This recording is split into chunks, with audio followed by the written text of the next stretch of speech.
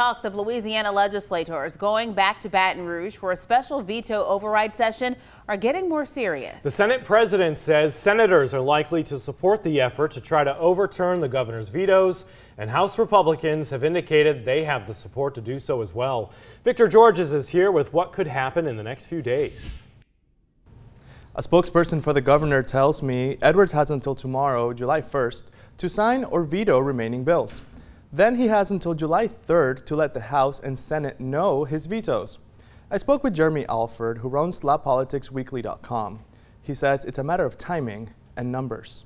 Right now, it looks highly likely that the legislature is going to trigger a, a history-making veto session. For that to happen, 20 out of 39 senators and 53 out of 105 representatives would have to vote to either go into session or cancel the possibility. July 15th is the deadline uh, for lawmakers to have their ballots in for the question of whether this veto session should be held or not. Once in session, if lawmakers want to override a veto, they must have 26 votes in the Senate and 70 in the House. That's a two thirds majority. So far, the governor has vetoed two bills. Senate Bill 118 would allow gun owners to conceal carry their weapons without a permit.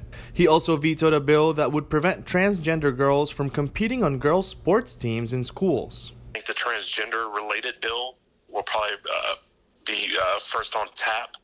Uh, it looks like that's the piece of legislation that has the, the most potential for a veto override from the legislature. I think you'll see a strong vote in the Senate on that bill, uh, as well as a, a, a strong vote in the House. If enough votes are gathered to start this special session, it would go on from July 20th to the 24th.